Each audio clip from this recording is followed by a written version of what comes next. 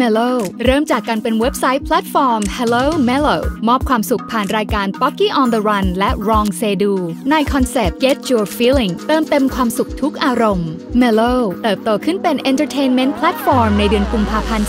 2018 โดยให้บริการทั้งเว็บไซต์ mello.me และแอปพลิเคชัน โดยมียอดดาวน์โหลดสูงถึง 1 ล้านดาวน์โหลดใน 3 เดือนแรกที่เปิดตัว Mellow เปิดตัวอีกครั้งอย่างเต็มรูปแบบด้วยคอนเซปต์ Mello Born This Way พร้อมประกาศ Killer Content สุดยอดความบันเทิงตลอดปี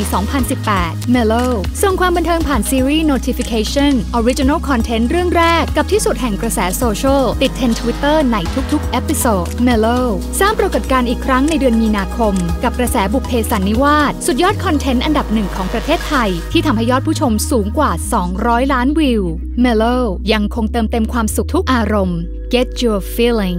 Mellow